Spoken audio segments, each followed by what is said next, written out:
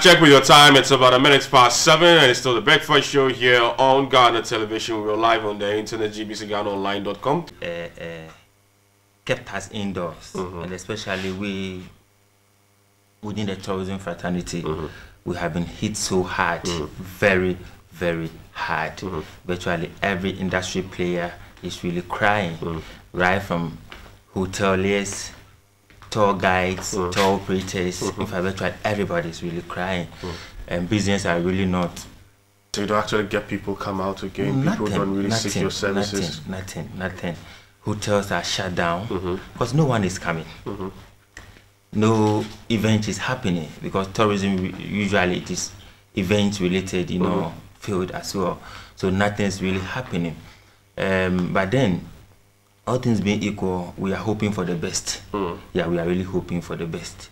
And uh, like I said earlier, our industry, that is the Minister for Tourism, Arts and Culture, Honorable Barbara Oteng-Gyasi, Mm.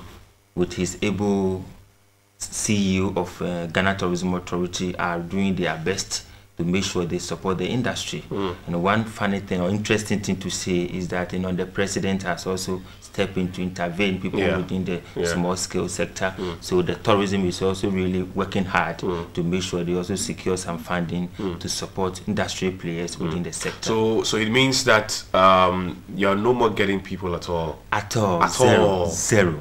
So Nothing from. March when we recorded our first two Case. cases yeah, till now, yeah, uh, nothing. on a scale of one to 10, 10 being good, one Yeah. being bad, where would you place the the whole activities of the tourism industry?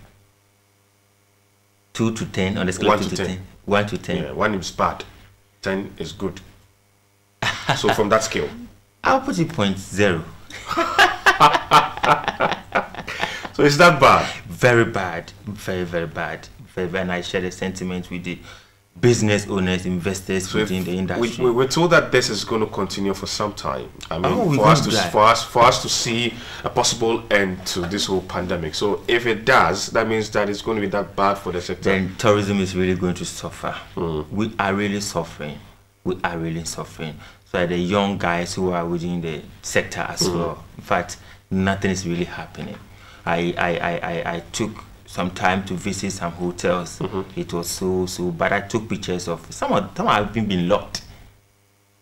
It has been locked. Nothing. Restaurants, people are not really patronizing except Yeah. those who buy the takeaway Yeah. or order the takeaway. will get people sitting Ex- there. and eating exactly yeah. exactly exactly nothing is really happening in the industry but then um per research or per information we realize that uh, this is not the first time such thing is happening it has Okay. happened some years back and of course there was a recovery so we believe that uh, uh, this will also be over soon and uh, this is a time for us to really um, reorganize ourselves. So after this pandemic, things will really be on a good course. So at least we know. So um, I also thank God that uh, we are also working on this uh, national tourism policy. Yes, let's so move, as let's part of this yes. policy, we can factor some of these things so that in future, if something happen, there should be a provision to support people within the sector. What's going to be some of the things within this policy? Yeah, we, we, we, we, we did a very massive research Mm-hmm. and we realized that there hasn't been national tourism policy, but then we have a national tourism development plan Mm-hmm. which has been supporting the industry over the years. And I think the first plan was instituted in 1996 to 2010. Mm. So after 2010, they got a second plan, which was 2013 to 2027, Mm-hmm. and it was uh, launched officially by the then former minister, Honorable Akua Sena Dansua, Dansua, and then yeah. sup- than so are supported by the UNDP and the UNWTO. But then, as it stands, the, the national tourism is just a, uh, the plan is just a strategy, and then we need to get a policy to guide it. Mm. Like I said earlier, you know, the industry is so big mm. and it involves a lot of people, both formal and informal. When you look at the tourism sector, you know, talking about the fashion designers, hairdressers, beauticians, everybody is part of this very industry. So the question still is that now what is really guiding them, the industry mm. as a whole?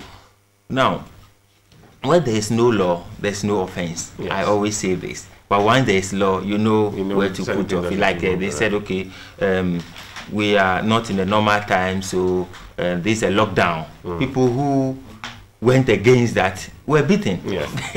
you know, because there has been laws, so yeah. you definitely need yeah. to follow. So the policy says that in maybe 50 years, mm. the industry must achieve A, B, C, D. Mm every politician or every government that comes into power needs to really follow that policy, policy, because at the end of the day this is what we want to achieve mm. but then the reason why we have taken the pain to fight for this or to advocate for this policy is that i am coming from a background where we are dealing with the youth and children mm -hmm. and their future is very very important mm. so this advocacy or this fight we are doing today it is for the young ones for the future ones who are not even yet born. Once there's policy, they will grow to meet it. Mm. We are basically doing tourism education. And now, like I said earlier, when the policy is there, uh, we know that education has to, uh, the tourism has to support students in education or doing tourism. Mm -hmm. This sort of percentage has to be done. Mm -hmm. In the people doing the, the info, within the informal sector, this kind of support has to be given to them. The policy is there. Mm -hmm. Within this year, we want to achieve A, B, C, D. So even if uh, government comes, uh, serve your four years term or eight years term, and you are not able to achieve, the next government that comes okay, will automatically follow mm -hmm. for the industry to be smooth and people to get their fair share of whatever. How far have we gotten with this?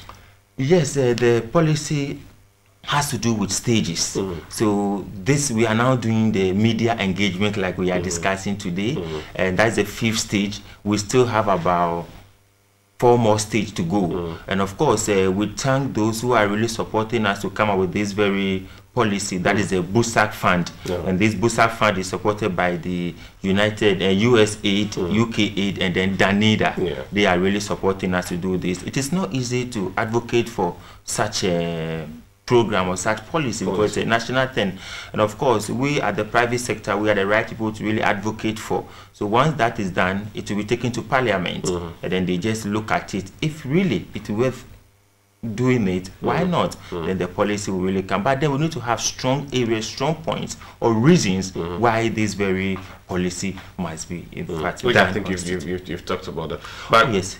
whilst doing this advocacy and whilst talking about all of these things, um, have you also had in mind the things we will need to make this policy effective, as in when we have it to implement it to make it very effective because we have a lot of policies around but implementation sometimes is a problem exactly the implementation has always been a problem mm. the fact is that uh, we as an organization society of ghana or myself as Amartey i'm mm -hmm. not the only person probably fighting for this mm -hmm. but we have done a lot of consultations we have met people who are really who have the technical know-how who are in the industry mm. because mm. uh, we did the research and the research stage we even consulted the ministry of tourism ghana tourism authority people who have really played their part in the industry mm. to get those information so i can assure you that uh, we can really have uh, the best in this document and then the implementation wouldn't be a problem because mm. if you have a good strategy definitely you can implement whatever you intend mm. doing all right so what's the time frame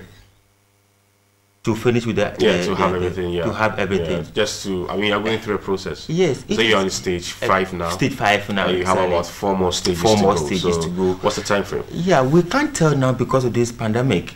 It is rather unfortunate yeah, that we, I mean, uh, uh, I, I feel so bad because if an organization has really voted so much money into such project and mm. things are happening like this, you can imagine. Mm. But then we are believing God that uh, this will also pass mm. and then definitely things will take shape so mm. for now i cannot predict but initially we intend at least by the middle of this year this advocacy should be done mm -hmm. so at least we can take it to the appropriate courts mm -hmm. for, for, for them to really take action mm -hmm. but this is where we are today and which i can't tell so, so let's just put all these your activities on hold on hold okay. on hold you know okay. and even with the with the media engagement uh, earlier some we supposed to have it earlier like i said but because i think uh, a week or three weeks ago the attention was on the covid-19 on mm-hmm. almost all media I mean stations. Mm -hmm. So therefore, we couldn't even get the time to probably do what we do today.